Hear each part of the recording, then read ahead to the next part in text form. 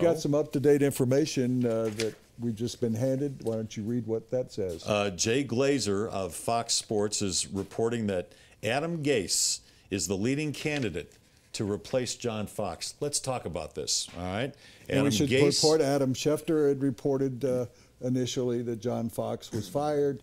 We have uh, gotten reports and confirmed it. Jay Glazer, who had reported yesterday that John Fox would be available for other jobs if they lost the game. And that's what we're talking about. If you don't know this, John Fox and Jay Glazer have a very strong personal relationship to the point you go, uh, Are you jealous? No. Jay Glazer, when he came to practice, had freedom to go everywhere. We were shut out after we're, 10 minutes we're or restricted so, or or restricted sideline. to the sidelines. Yeah. So they have a close relationship. You said, uh, or Mark said, they they're drinking. They're buddies. drinking buddies. Yeah. I said it. Yeah. yeah. Okay. And they are. Glazer now reporting uh, probably through Fox because of Fox, his relationship with Fox. I would Adam guess Gase, that Fox told Jay Glazer that Adam Gase would be the leading candidate. Uh, I, well, I, would think uh, that. Let me tell you what I think that would mean. If Adam Gase were the new coach, Peyton Manning would come back. Well, here there's another part to that though.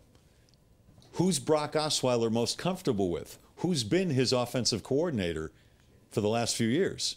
It's Adam Gase. So whether whether it's Peyton, like whether it's Peyton coming back or Osweiler is going to be the next guy up, Adam Gase makes sense as the next head coach. But here's the question, Woody: Do you believe Adam Gase is ready to be a head coach in this league?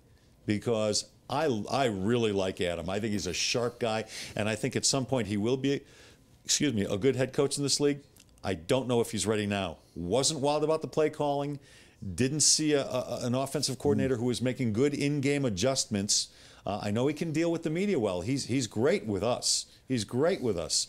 But from an X's and O's standpoint, or at least from an in-game management standpoint, I don't know if he's ready. I think he will be eventually. I don't know if he is right now for this team.